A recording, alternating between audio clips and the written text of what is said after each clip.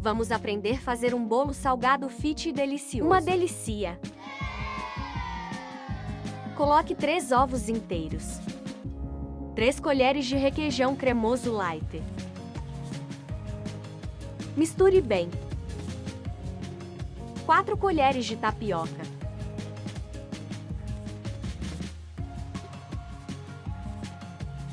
Um colher de chá de fermento. Uma pitada de sal. Milho a gosto. Oi, gente! Tá gostando dos vídeos? Se estiver gostando, deixe seu like, compartilhe com seus amigos. Deixe aí nos comentários o que você tá achando. Eu vou adorar ler. Beijo e até a próxima! Frango desfiado a gosto. Cebolinha e coentro a gosto. Misture tudo e coloque na forma untada.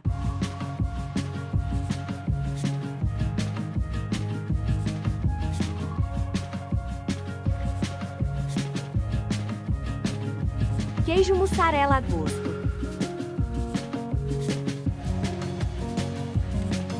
Coloque para assar por 15 minutos em 180 graus. Prontinho! Pode se deliciar e não engordar. Compartilhe com os amigos essa gostosura.